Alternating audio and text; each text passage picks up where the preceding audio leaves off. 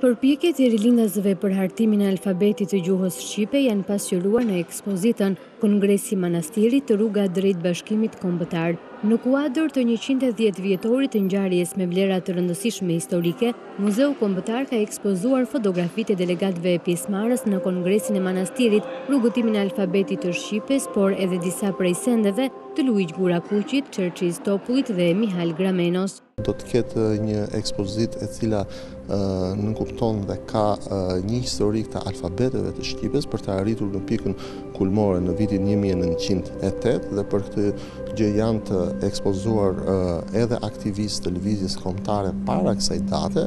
Ekspozita do të qëndroj e hapur në ambjendet e Muzeut Historikë Kombëtar dheri më datën 24 nëntor. Kongresi filloj punimet më 14 nëntor të vitit 1908 në manastirë, ndërsa nismën për thirin e ti e mori klubi bashkimi. Në kongres morën pjesë 5 delegat nga të gjitha krahinat e Shqipërisë.